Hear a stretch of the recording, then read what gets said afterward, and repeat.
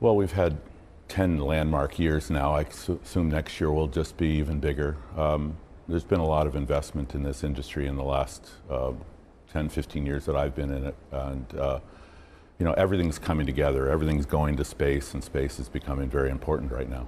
We've been having a lot of conversations about people traveling to space. We've seen a lot of rockets taking off, uh, a lot of them with SpaceX all over them. What are people missing about the space race at this point as you talk about satellites and connecting people up? What are people missing about the grand scheme of the space economy?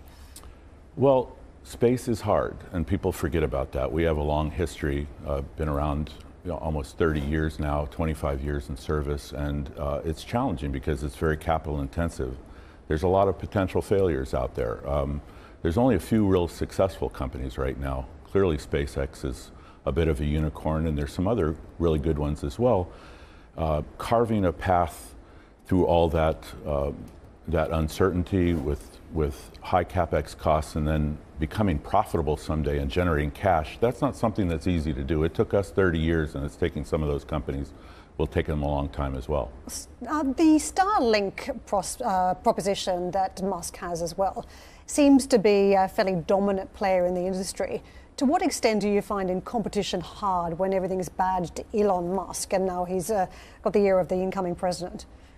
Well, Starlink is a brilliant product. I mean, it, very few people can uh, replicate really this the potential success of Starlink because not only uh, is there sort of unlimited capital behind it, but that they have the rockets as well to launch it.